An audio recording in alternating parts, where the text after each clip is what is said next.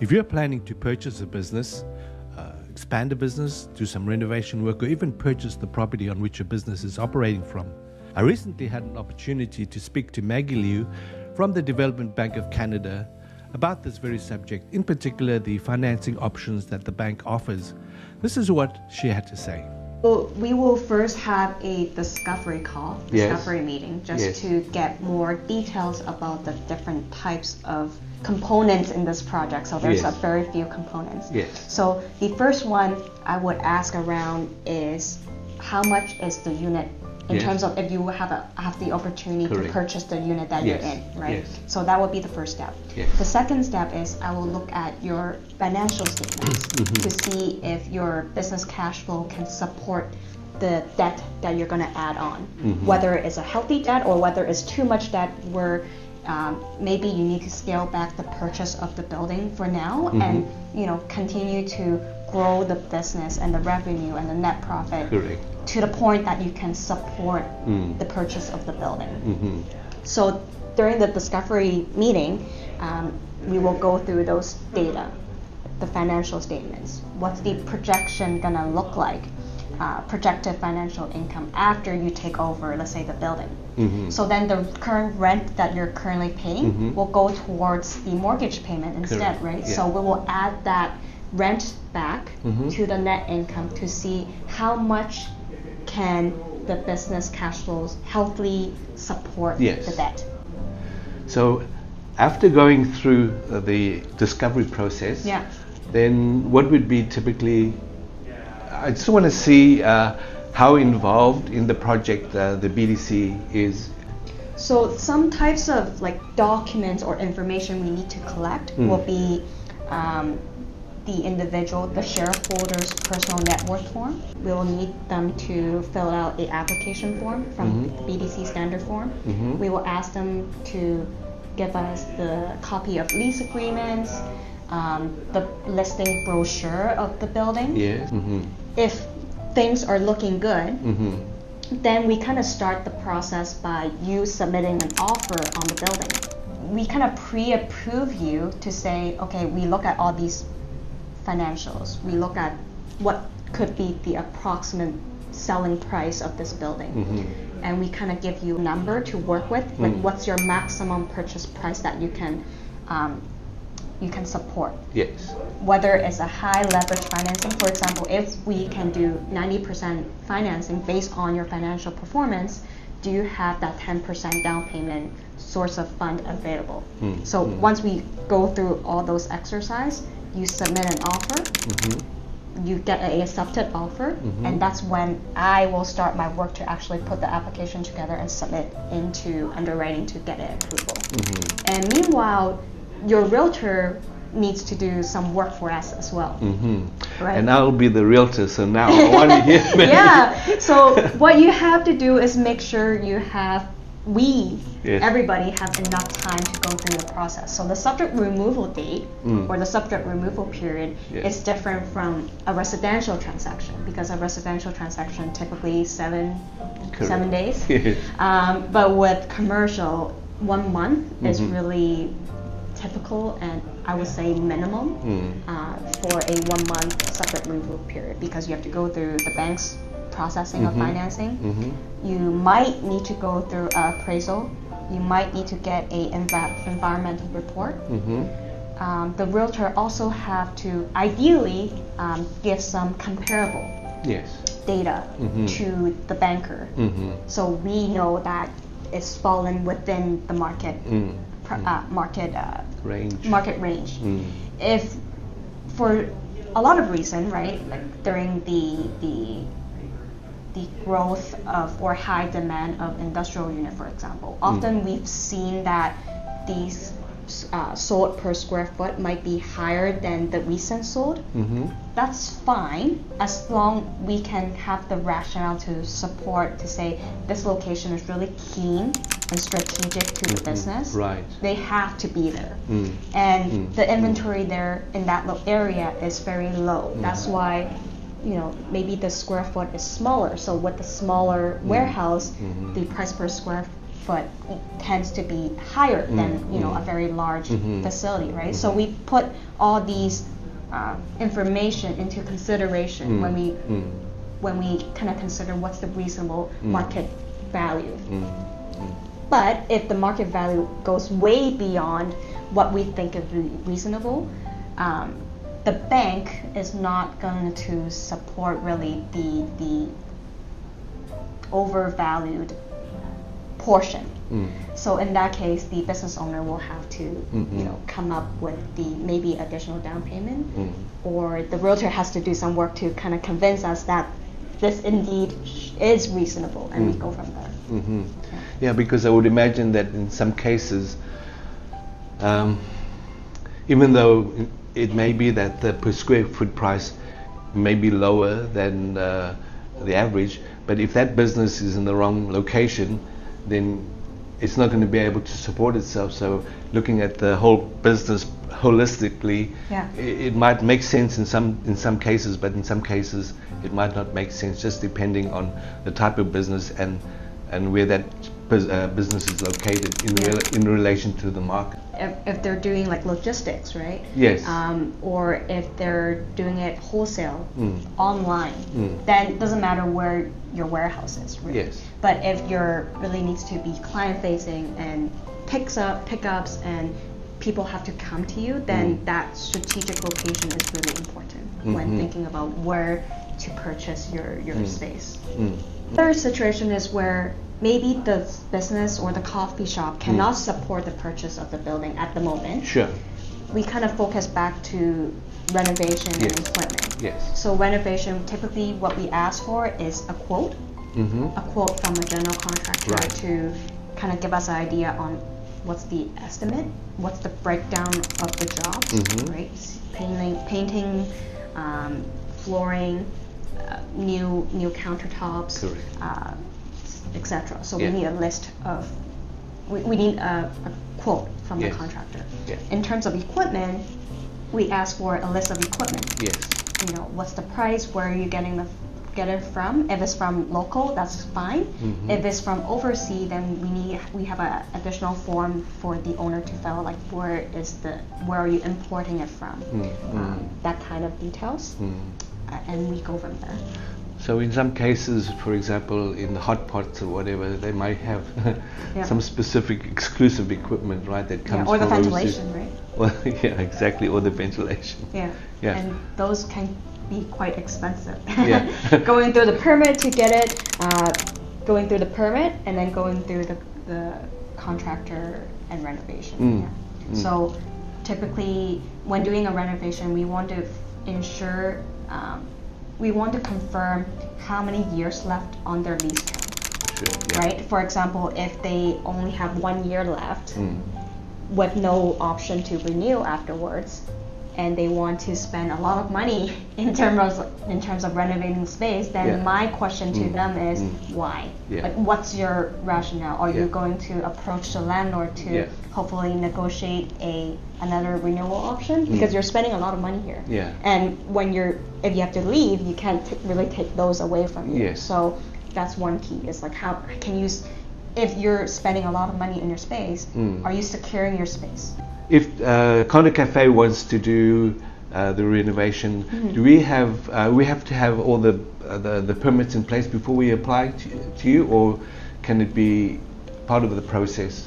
You don't have to have the permit ready Mm. before you approach the bank Mhm. but you will have to uh, prepare the, the list of renovation like the Mhm. ideal Mhm. situation and the quote from the general Mm. contractor we'll Mm. do like another not pre-approval but we will let you know after our meetings and analysis to see how much we can lend you Mhm. and if you agree to those terms and conditions then you can go through working through the process Mm-hmm. Yeah.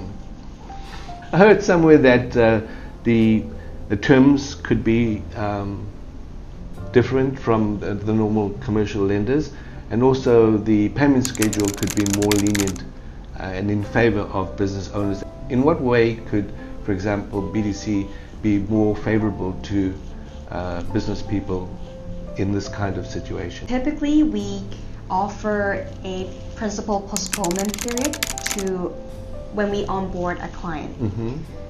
Meaning that you have a period period where you just pay interest only. Mm-hmm. And once you transition, once you make the transition and your business at the new location or at, after the new project that you executed is generating positive uh, return for you, then the principal payment and the regular payment will kick in. So Mm. we kind of give you the initial break in the, from the beginning for Mhm. your transition time. Mm-hmm. Afterwards, depending on the types of business model, like some businesses are very seasonal, Mm. right? For example, whale watching, it can only be in the summer, correct? So Yeah. if if they're doing a lend borrowing from us, Mm. we can kind of schedule the payments where they only pay during the summer months. I see. Yeah. BDC is there for growth. Mm. So if you have a project in mind that will fuel your business growth Mm. to bring you to the next stage, Mm. BDC is a partner that you should definitely talk to Mm. um, in addition to your own bank. Mm. So we come hand in hand, right? Because your business daily operation and your accounts are with one of the charter banks. Mm. If you want to diversify your banking and your borrowing, BDC is a project-based lender. I see. So we come in to do a project lending, but it does not affect your daily operation, the ins and outs of your cash flow accounts with the, your existing bank. Mm. So doing a business with us, you don't need to change your pre-authorized debit payment with your vendors and customers. Mm. Everything stays the same, and we're Mm. just coming in Mm. to partner with you to do a growth project. Pro- growth project, Yeah. exactly, yeah. For an operating business, uh, the, uh, the BDC is more focused on the expansion side or uh, the project side as opposed to the day-to-day operation side where we would need uh, the, to have accounts with uh, the, the regular uh, bank, banking institutions for the uh, like credit card Yeah, facilities credit and card, things like that, uh, checking, saving. yes. Yeah. Because we don't look at individual uh, and personal assets as much. Mhm. Like we don't look at their T1s. Mm. So in a sense, we're really focused on your business. Can Mm. your business support this growth project? And Mm. we're based on our decision of the holistic view of the business. Mm. So, yes, if your personal is strong, that will mitigate the risk of if should things fail, the bank has security over.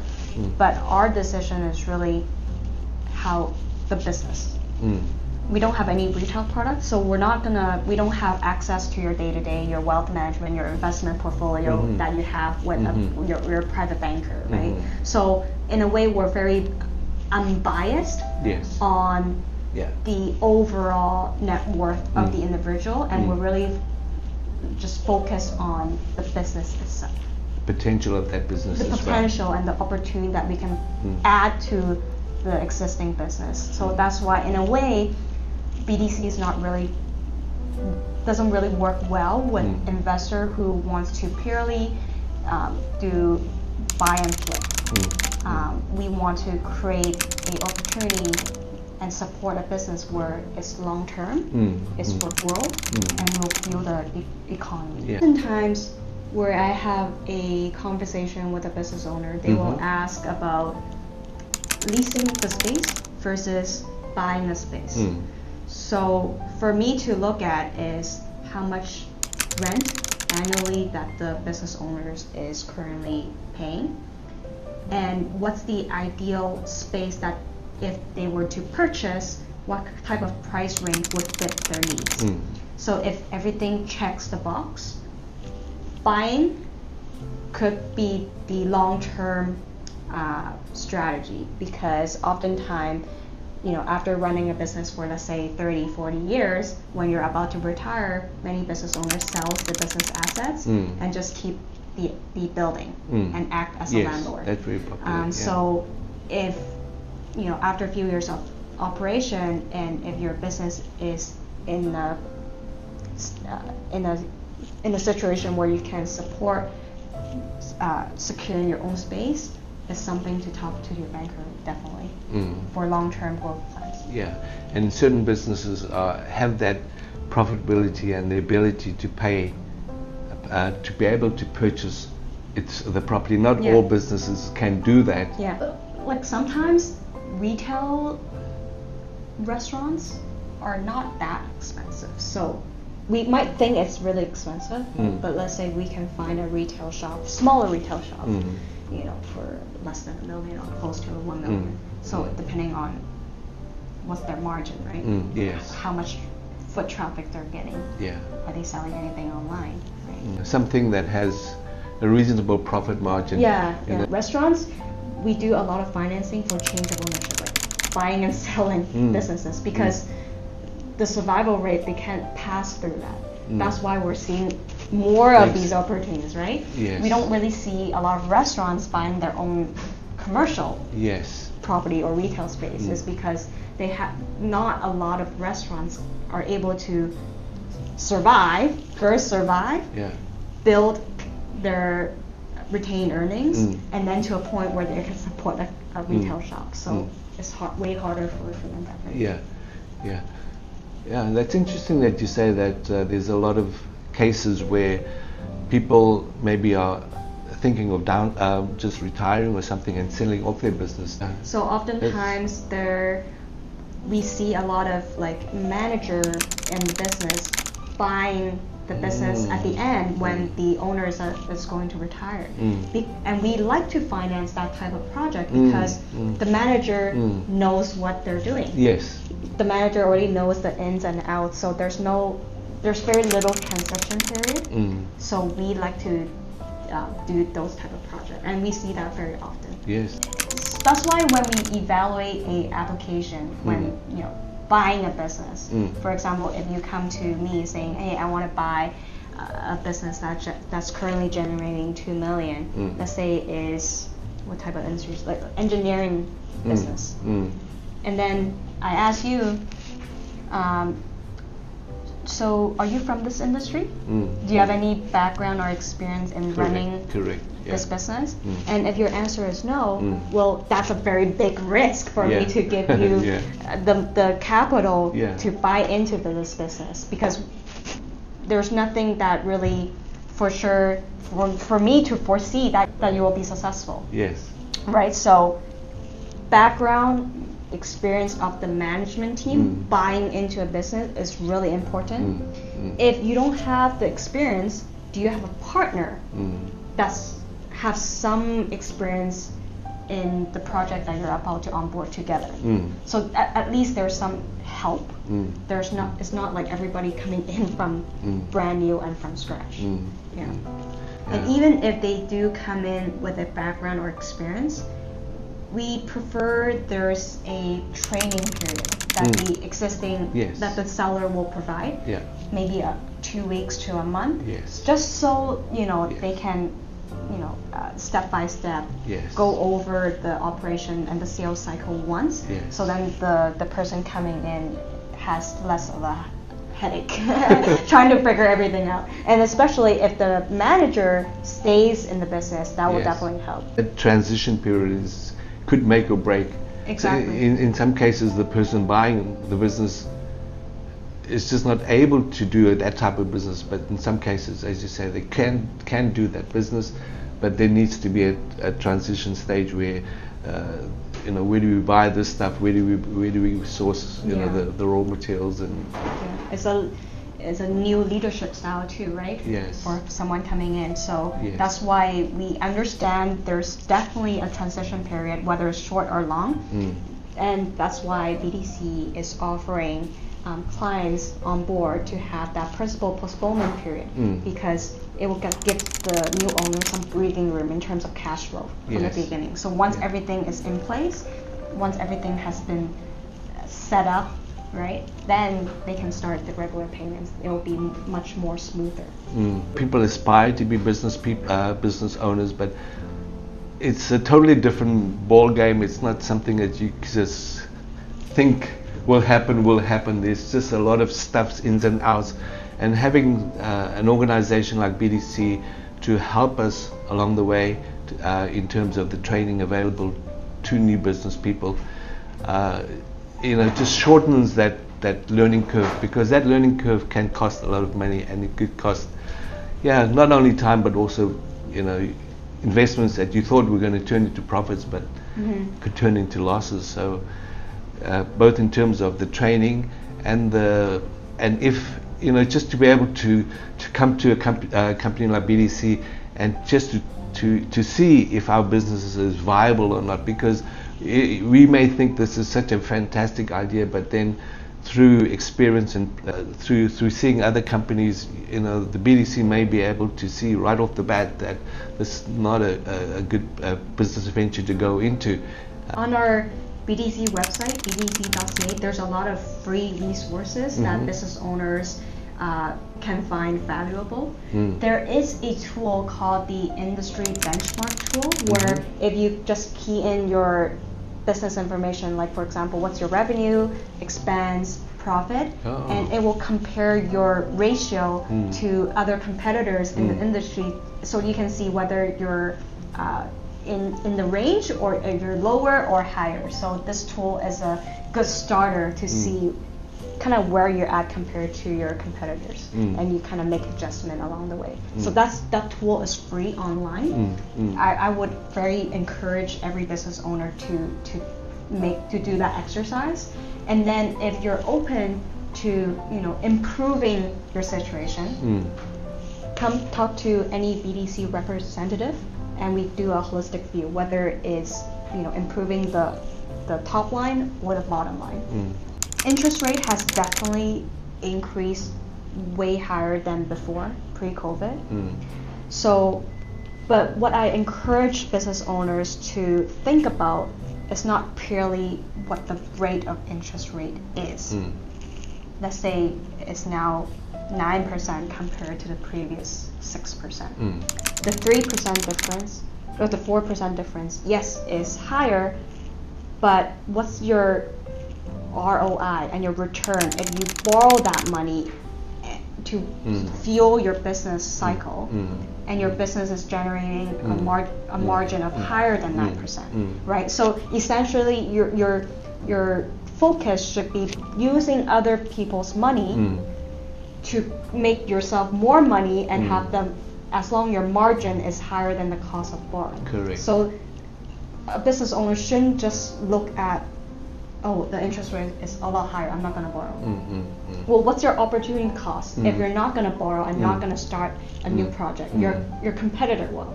So in return, you don't want to to just stay as is. You might want to monitor or you know evaluate which growth to go for. Mm. It might not be three projects at once. Mm. You just just need to decide which project makes more sense mm. at the current time. But it's not a time where you do nothing. Mm. Capitalize on the on the opportunities yeah. and not lose the opportunity because opportunities come and they come and they may come and they may not come or whatever. But if we have the opportunity and uh, the the cost uh, to acquire the opportunity is less than uh, the actual value that the opportunity. Yeah. Then it doesn't matter whether interest rate has gone up 3% yes. or 4%. Yes. Just a little shift in mindset. yes. So that's why improving the bottom line is very important, yeah. especially if we see the top line might fluctuate, mm, mm. right? Mm. Your bottom line needs to be very secured and safe. Yeah need to keep a tight ship. Yeah. Not, not let the bottom line run wild, right? Otherwise, yeah, yeah. the business is going to struggle and things like that. During economic uh, economy uncertainty, business owner needs to be more open and willing to absorb other knowledge and insight. You know, if we take COVID for example, mm. things have changed after COVID, mm. right? Um, so if your business model stays the same and didn't make any pivot to adapting the environment that we're in, it might not be a long-term successful. It might be it not it might, it might not be successful in the long run. Mm. So as a business owner, your willingness and your curiosity is very important. Mm. Yeah. So BDC, yes, we do financing. Advisory, we do, but advisory, I agree, is not for everyone. The business owner has to have that right attitude and the right curiosity Mm. to, you know, get most value out of it. Mm. Yeah, it's a different mindset. Some people are fixed in their ways. This is the way I want to do it, and, and they're not open to possibly more um, innovative ways of doing things that, in the long run, will be more more durable, more more, more profitable. Yeah. So Yeah, because the economy is just always changing all the time, and Yeah. disruptive uh, disruptive systems are coming Yeah, up. and what I usually say to business owners is you don't know what you don't know. Mm, So just keep an open mind yeah. and adapt to the Yes. environment. Yes. I hope you enjoyed this presentation. If you did, please hit the like button. I look forward to speaking to you guys again. Bye for now.